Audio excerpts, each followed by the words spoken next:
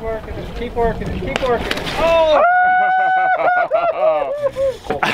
he told me to throw a top water out there, threw it out there, and this guy smoked it right on top of the water. The best blow up I've ever seen. It was awesome. What's up everybody? So I hope you're having a great day and I've been wanting to make this video for a while. I get asked this a lot and it's like, Jack, I'm new to the area or I just started fishing or I got my little son and now that I have a son too, I think about these things you just want a place to go fish. You don't really know the area or, you know, you don't really know how things go seasonally. So in this video, I want to talk about like the top fishing spots in Pensacola.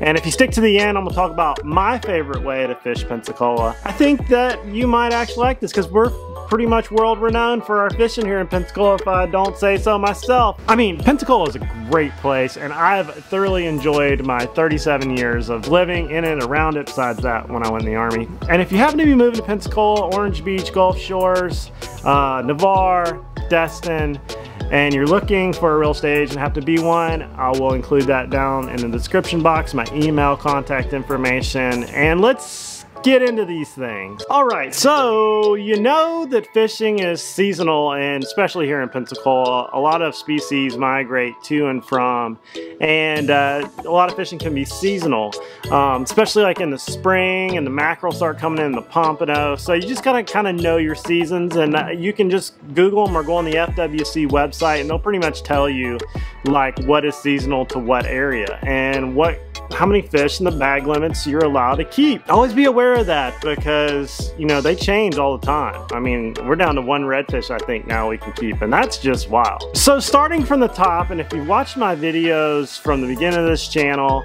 you'll see that I used to fish the Three Mile Bridge a lot. It's uh, one of the top redfish fisheries anywhere anytime for redfish, okay? And But the Three Mile Bridge has been destroyed and rebuilt in the last few years and uh, there's been a lot of construction and a lot of hammering, so it, it, might not be where it used to be, but it's still a great place. And, you know, they used to have a fishing uh, pier side or you could fish from the bank, but if you're able to get out there by boat or by kayak, which I did a lot from on this channel, you can get on those big redfish and we're talking about some massive ones, 40 inches inches, 30 inches, 35 inches, and you can catch them all night long.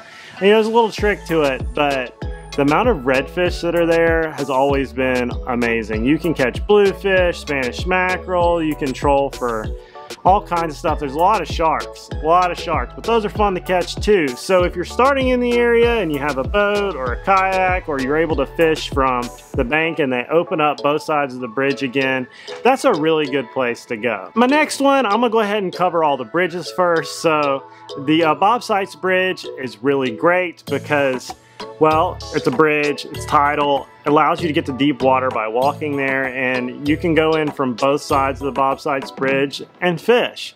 So you're gonna catch a lot of Spanish mackerel, you're gonna see trout in there in the winter and some into the, into the spring, you're gonna see Heck, I've even heard people catching tuna back in the day off that bridge when the water was clean. But it's just gonna allow you to target a lot of different fish, black drum and sheep's head when they're migrating through.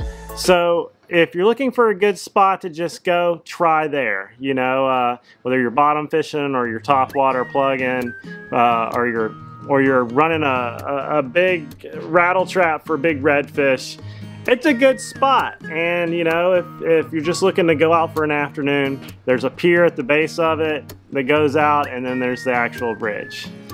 Okay, so moving right along, I'm gonna go to the Pensacola Pier, which the piers are amazing and they allow you to get some deep water and catch some pretty exotic species right off the the beach and there's a lot of good restaurants right there so you can kind of mix the two for a good outing. It used to be like eight bucks to go on the pier but um, you know it's probably gone up a little bit because of you know inflation. It's always been a great place and if it's your first time on the pier know that there's an etiquette to the pier and uh, the end of the pier is kind of for the uh, veterans and it can get pretty wild pretty fast. When the tarpon come in when the king mackerel are running and then when the when the uh, cobia are running. But on a day where there's nobody there it's all yours and you can catch one of those. And these piers are all up and down the Gulf Coast. You got Okaloosa Walton, which is amazing during the tarpon run, exotic species like king mackerel and Uh, I've even heard of them catching wahoo off the Navarre Pier, which is just down the coast from it. Navarre Pier allows you to get the deep, deep, deep water pretty close to shore, and uh, that's where a lot of the big kayak guys go where you're able to actually paddle out to, you know, 50, 60, 70 feet of water, you know, within a few miles. And then the Pensacola Pier. Um, there's also one in Gulf Shores, I think. Uh, over there, which is pretty awesome. So any of the piers are an amazing, interesting time. Great for sightseeing, and you can see the fish coming and going because usually the water is pretty clear. So if you watch my camping videos where we camped at Fort Pickens National Park, um, there is a set of jetties out there that you can go and fish, and there's actually a little pier out there too. So we just stopped off here at the fishing pier. This is a really popular spot right here when sheep's heads start running. Sometimes I catch some snapper and stuff off of it too, but pass is right there. And the jetties is just around the bend. The pier over there is all broken up still. During certain times of the year, it can hold some pretty cool fish. Uh, a lot of sheep's head, sometimes some mangrove snapper, some snapper will float in there, and uh, you know, it, it's a historical place, beautiful place, and if you happen to be down there, that's also a great place. And that's going to roll over into one of my later categories because that place is just so beautiful. But the jetties, there's also one in, I think, Orange Beach Gulf Shores area where you can just go out and you'll find Jack Crevalle running through there, big redfish, you'll see Spanish mackerel, king mackerel, a lot of big species come into the jetties, sharks, um, and it makes a really fun and interesting place, but it also can be kind of dangerous. So just be mindful and know your limitation. So if you're an inshore fisherman, you know, Bayou Chico, Texar, and Bayou Grande offers, offer some really good fishing. You know, the thing about a lot of those, you want to be around some structure or you want to be at the time of the year where the fish are on the grass beds or on the flats. If you do a little bit of research, you can really kind of figure that out. And if you're doing it by boat, you know, you can get over to some really good places. Um, bayou Chico is pretty small, so it kind of hems the fish up pretty good, especially in the back of the bayou. And, uh, you know, fishing around structure. So if you got a boat, kayak, or you're able to get down to the water by uh, your with your fishing poles, it also can be a pretty fun and interesting afternoon. The Navy Point Bridge is not so bad either because I happen to live by it and a lot of people fish off it and they catch stuff too. Alright, so my next to last one is uh, just surf fishing. You know, especially during the Pompano run, which is kind of now, the spring. Um, if you got some big long casters, sometimes you catch some Spanish mackerel. The redfish come and go up and down the beach during the winter. I mean, the bull reds, the big ones. And then you get the whiting and the Jack Crevalle that'll come in, and there's just a lot of interesting fish that come up and down the surf and it's beautiful and you can sit out there and relax you know with a good uh, good setup, you know, eight, nine foot pole, 20, 30 pound braid, five, 6,000 series reel, or some 3,000 series reels, some smaller rigs, and throwing some baits. Uh, you know, like spoons and jigs and, you know, Berkley gulps. You can run into some pretty interesting stuff. There's plenty of miles of beach. Just make sure you get into the rip, the gut, you know, that's in between where the waves break and, you know, where the water's a little deeper and, and just kind of stagger your baits and you'll start running into stuff. I would say pick up a good manual on how to surf fish and it can be a very interesting thing. Even in the winter, uh, a lot of the old timers are out there on Perdido Key and Pensacola Beach and, uh, they uh, do some awesome fishing and they're really serious about it. So it's a great place to take your kid because there's not there's plenty of space and uh, except for when the tour there's a lot of tourists that come during the summer. Sometimes the beach can fill up and it's pretty hard to surf fish. So that's the only caveat to that.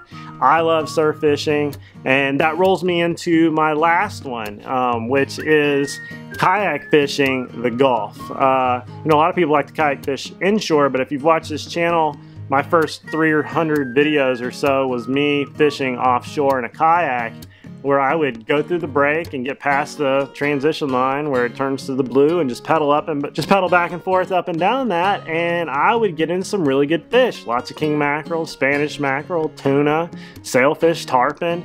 I mean pretty much any fish you're gonna catch uh, with given a few out of a big boat offshore you can catch from a kayak right off the beach and uh, it keeps you in shape keep you motivated fun during the summer to jump in the water and have a little fun so uh, you know, I bought most of my gear that I started out kayak fishing with from a yard sale. I had a, I think I had a Jigmaster 500 with 30 pound braid and a, a Penn 850 with a jigging rod, and I just flip it behind me and just start paddling and whammo. So it's crazy you can go out there and catch 20, 30, 40 pound kings or, you know, tuna or sailfish.